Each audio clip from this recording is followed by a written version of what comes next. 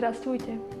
A volám sa Miroslava Čundová, pochádzam z Bardejova a rozhodla som sa byť dobrovoľníkom v Rusku. Konkrétne som v Nižnom Novgorode, mesto je super a pracujem v škole, v detskom sade a tiež sa mi to veľmi páči.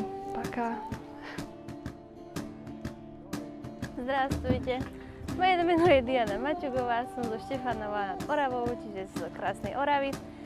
A momentálne som na EVS v Rusku, čím sa plní môj veľký životný sen. A zatiaľ prišli sme iba prednedávnom, takže zatiaľ ešte nevieme opísať že každodenný život a krásy Nižného Novgorodu. Zatiaľ môžeme povedať, že pracujeme v špeciálnej škole číslo 365 a s detičkami, ktoré majú rôzne ochorenia, či už mentálne alebo, alebo rôzne fyzické.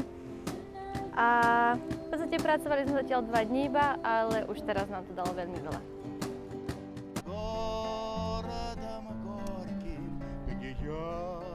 Ясные зорьки В рабочем поселке под